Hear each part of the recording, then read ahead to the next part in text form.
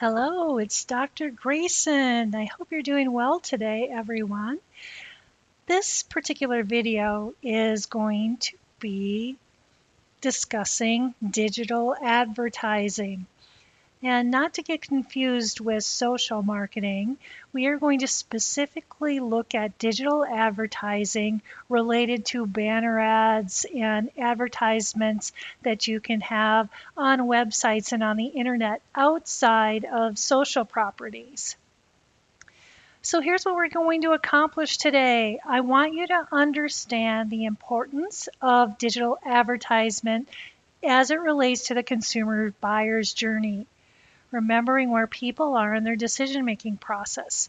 We're going to look at lots of different types of digital ad formats, and then we're going to look at the pros and the cons of various creation platforms. So you're going to look at actually creating some digital ads for your marketing plans that you have for your semester project. And then finally, you know, how are you going to translate um, your brand identity into your digital properties. So that's what we're going to accomplish in this module.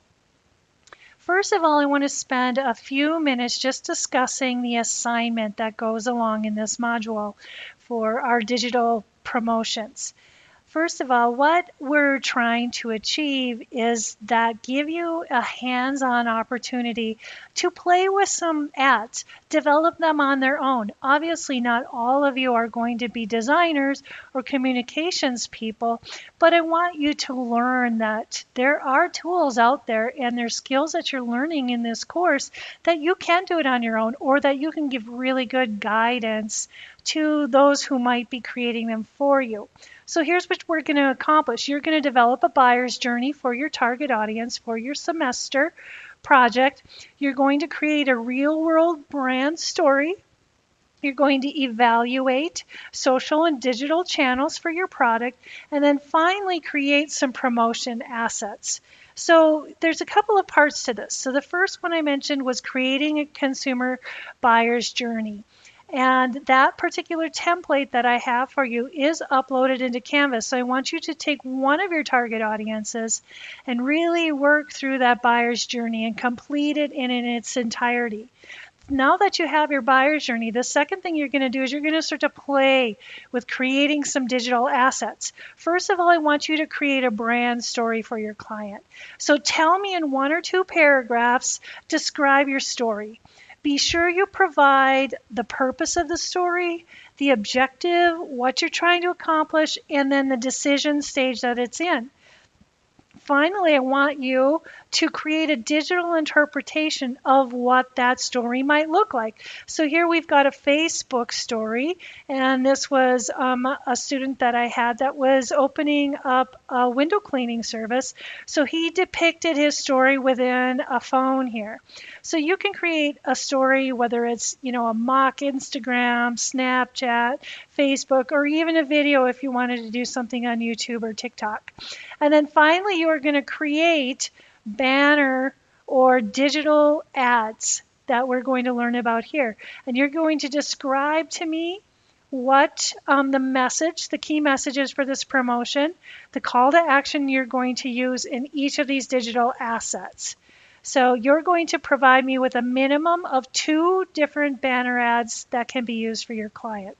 So go to um, Canvas, review this assignment, and as you work through this module, this will be um, your assignment that will be due.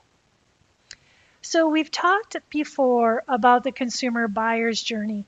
I want you to pull out that map, download it from, from Canvas if you don't have it handy, and I want you to think about how do we as marketers influence each of these buyer stages, awareness of need, information search, evaluating options, making decisions, evaluating a purchase.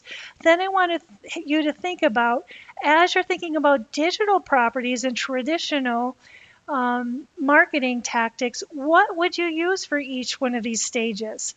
Then think about key messages. What are those things in each of these stages are you most interested in communicating to move the person to the next stage? And where are you going to place your ad? If you're doing awareness of need, maybe you, you thought you're going to use some social property. Where are you going to place it? Are you going to place it in, in Instagram, Facebook, maybe do a, two, a TikTok video, etc. And then how are you going to measure it? So think about these things as you um, begin to look at the consumer's decision making. You can find this template in Canvas and go back to the if you need a reference go back to the the integrated marketing communications planning section where i have the how to's of to completing this particular template. So now we're going to do a little practice. So i asked you to take out your consumer buyer's journey map. So let's look at a few ads and i want you to think about where this might be in a, in a journey map. So here you've got a Doritos Locos Taco um, advertisement that's on the cell phone. Here we've got, you know, it, it's a Pandora ad. So here you've got skip to Pandora or click on this. So if you look at this, this is a beautiful taco. Um, find one now is their call to action, which will take you to a locator spot. And there's a hashtag. So think about that buyer's journey. Are they in ready to make a go out and buy the taco now? Are you trying to raise awareness for them that um, they are hungry and they need something to eat? Are you evalu- is it dinner time and you're evaluating this taco versus other options you could have? So as you can see, those are different stages of the consumer's buyer's journey, and I want you to think about for an ad like this, where might you place that? Here we have another Pandora ad um, with an offer code. And this is, is a free overnight delivery and 20% off your first order. So when you're thinking about this, um, this likely is going to be towards the end of the buyer's journey, right? Because you're getting somebody, you wanting them to act now with an offer code with a 20% off discount. So maybe they are already aware that you're a grocery delivery service, maybe not, but using this type of offer message really helps people cement a decision on whether they're going to buy or not. Here we've got a few things. So this is a Bonobos ad with some beautiful polo shirts of different colors. So today only classic peak polos are $35 with this code. So if you think about this, maybe there's some creating awareness here that they have polos and that they come in a variety of colors but they're also looking at maybe we're we're we're going to um, if you act if you act now today only which is very much of decision making we're at the end of the buyer's journey in the decision making process. And finally here is uh, from american express it's welcome welcome in john. So this is looking like you're entering seattle so this is some great awareness advertising for the brand of American Express, but also giving you some great information about where you are. So this is how I want you to look at how you might design your key messages, your ads related to where the consumer might be in their buyer's journey. So here we've got my Bluetooth speakers don't sound great. So they've got a couple of things here. My speakers sound great a little play on words. Um, so again, this might be an awareness or maybe an evaluating of options. So maybe they're comparing this Bluetooth speaker to this one. Here we get Amazon Music, sign up and get an Echo Dot for a dollar. So again, we've got an offer here. So you're probably already aware of the Amazon Music and the Echo, but you can get it for a dollar. So we're getting you to try right now. So here we've got um, Ring Doorbell, which has some great explanation about what it does. So I would con- I would consider this maybe the front end of the buyer's journey. You've got some pictures of the product. They're showing what it's going to look like on your cell phone. They're telling you about some features. So they're creating awareness and they're also giving you an opportunity to evaluate some options. Get loved by Google, get more traffic. This is very much um, a high level branding type awareness message. So here we go. This one here was um, I had stayed at the hotel at Eureka, which is a little casino in Mesquite, Nevada. And I stayed there, and after I stayed there, they sent me a Facebook post that like send a photo about um, about your stay here, which is really a great interactive type of community building initiative. And so in this case, I am already through the buyer's process, but they're trying to create advocacy and customer loyalty and retention with me. Here we've got 32, 33 rare Titanic sinking photo taken just before and after it happened. This is what we call clickbait. So the clickbait is getting us to act now. Unfortunately, it'll take you to something probably a little sketchy. Here is a 10 off 30, $10 off your next $30 or more. Again, at the end of the buyer's journey and making a decision. And here is some um, earning flights with rewards. So there's a lot of information on here about what the offering is. So gaining awareness and evaluating options in your information search. So this is how I want you to go about devising your stories, your, your digital ads to make sure that aligns to the objectives that you have. So in that case, once you've already defined your target audience, you're looking at what your key message is in, now where are you going to place those ads? So for digital ads, so think about the types of advertising you're going to encounter when you're on the internet outside of your social media channels. There's different types of digital ads, banner ads, text, floating banners, wallpaper, video ads, etc. I'm going to go through these. So as you think of your screen, whether it is on your phone, on your mobile device or whether it is on a laptop or a computer, there are specific size ads that are already um, play are already out there for you to place your banner. And each one of these ads is what we call real estate. So you could be on a website and the pop under is going to be under a full banner and it's going to have your ad there. Or maybe you're going to have a vertical right rectangle over to the right side. So generally when you're creating ads um, and you're using programmatic marketing, which is the uh, type of advertising that you bid on, you're going to create different versions or size of the ads that will place these these specs that are already out there so that you can just pop your ad in when needed. So these are just the common banner ad specs and you know you'll also have different ones for your mobile device. So let me go through some of the types of, of of ads available. So a floating ad, say for example, you're on your website, this looks like it could be, this is Fox News. So say you're on Fox News and you're scrolling down or you're looking at what the headlines are. The floating ad is the ad that doesn't go away at the bottom uh, of the scroll until you click on it. So this is going to be something that you manually have to click on for it to go away. And it's always going to be there at the bottom of your screen. So that is called a floating ad. This is a native ad. Now, native advertising is advertising that appears to be editorial. So it looks like it is a news or some type of source of information. So when you click on this, this will also be clickbait. You're going to go to a different page that might be more advertising heavy. Um, heavy. It could be an editorial, but the native advertisement looks like it's news, but it's not. It's not like this one over here where you're seeing a picture of the product. This is trying to get you to take a quiz.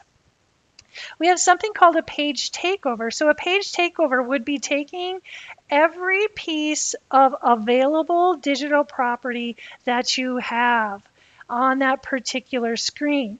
So in this case, the laptop, we're going to have two side banners, a bottom banner, an upper banner. Here on your, your tablet is just the bottom banner on your on your your mobile device, it is just one. But this means that regardless of who is out there, you're going to purchase every piece of available real estate for your ads.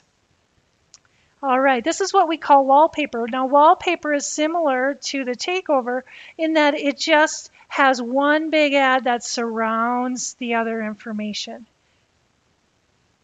And then, of course, you've got video ads, which are really, um, as as we learned from from other uh, videos, videos really, the imagery helps a lot in terms of conversion.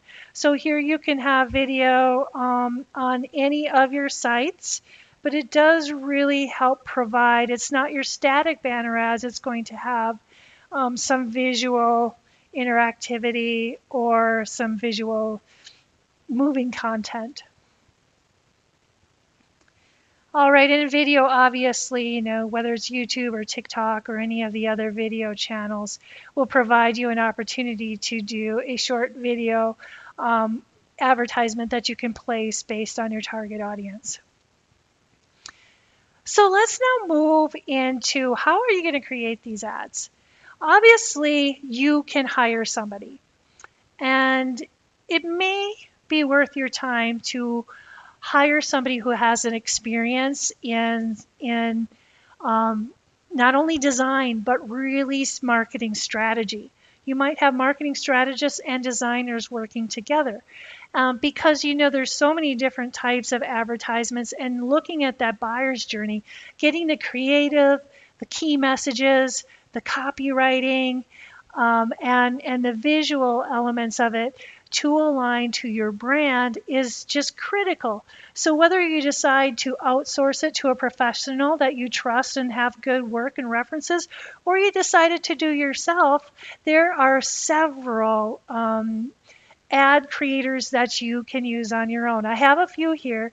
These are in Canvas. Obviously, if you are using Facebook or Instagram um, or another platform that is social marketing, they likely will have a platform within their application to help you create your advertisements.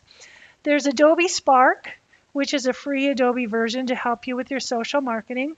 Canva.com, which is um, a free, there's a free and a premium version of, of really simple, easy to use design software. There's lots of templates in there. Bannersnack, we will go through that, and then also WordStream Creator. So go into Canvas and look at these. So, so as I mentioned before, if you were to go, if you were doing a Facebook campaign, you can go right into Facebook Creative Hub and they will walk you through how to create your digital asset. They're also going to walk you through the elements of what your strategy is. Are you looking to have somebody buy now? Do you want somebody to find your location?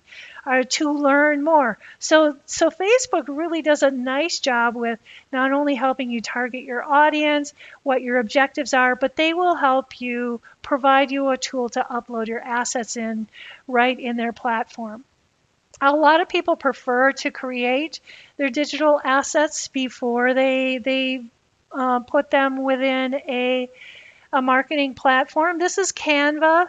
Canva is a nice um, platform. Sorry, I've got some stuff in here that allows you. I have the premium version, but you can also use the free version.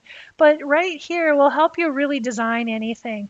And it's super easy to use. If you want to do an Instagram story, um, you can pop right in there. It will give you some templates you can work with right here. You can change the fonts. You can add your own different images.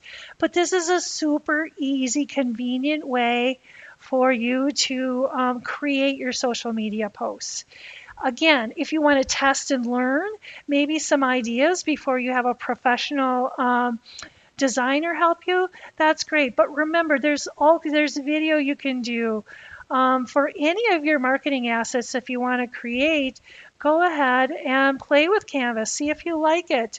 Um, you know, quick and simple Facebook posts. There's lots of different um, templates that you can um, that you can create your own key messaging with.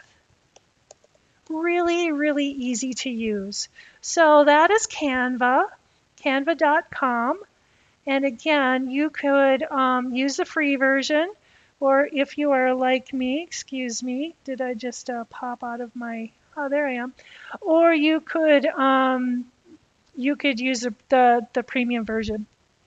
Now, Bannersnack is similar to Canva, but it's really just giving you different size banner ads that you can create.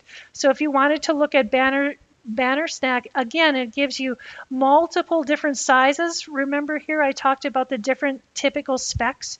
You can use their templates, you can upload your own information, but just a nice way for you to create some ads.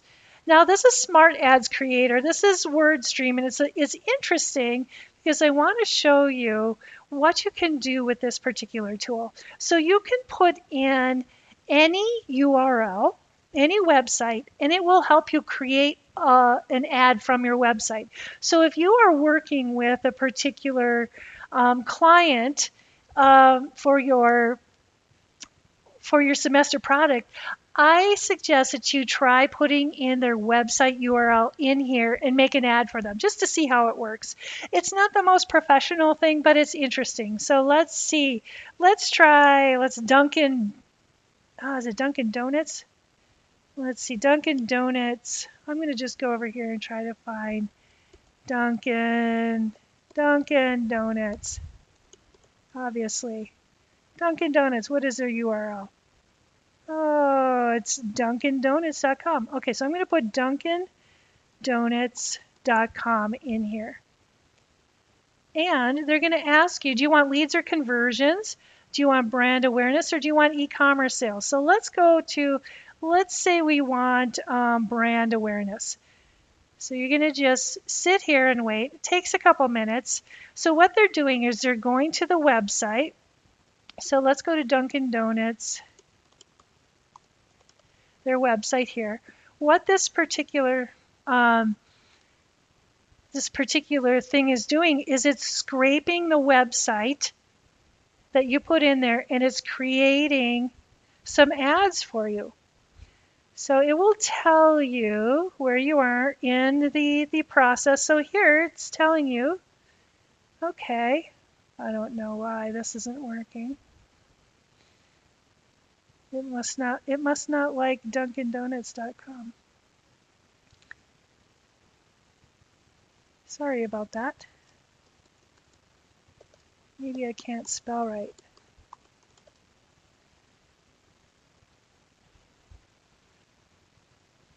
So what it will do, it will scrape their website and it will populate pictures from the site into banner ads. And like I said, it's not really the most um, professional looking ads, but it's kind of fun just to play with. If you just, in, in for your assignment, your digital social assignment, I'm not looking for the best of the best. I'm looking for your strategy, your thought process on how this is, um, how you would go about telling your stories, getting people to buy your products, creating brand, aware, brand awareness. So again, this Smart Ads Creator is simply scraping that web page and building some ads for you. So it says here that this process may take up to two minutes. I'm going to give you just another couple of seconds here. It looks like it's almost done. Um, and we'll see what is going to populate for us. Maybe this time it'll give me the right, uh, the right one. So what I really want you to do, this is the same, um, the, the, the, the ads creator. So this one was taken from a local restaurant that we have here in St. George, Utah called Wingnuts.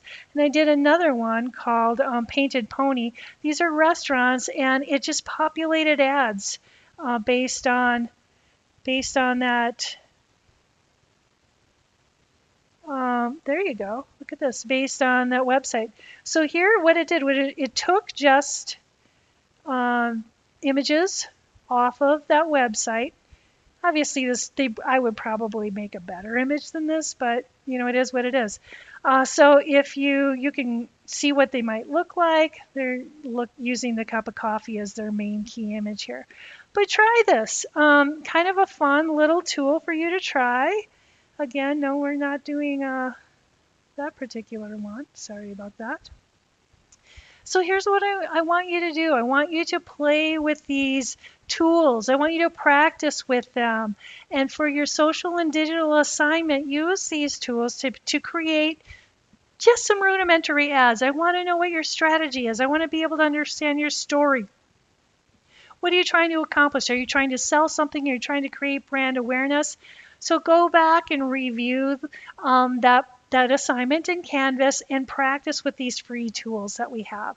Obviously, if you're trying to create a professional portfolio, and many, many of you are, you will want to use more of a professional design.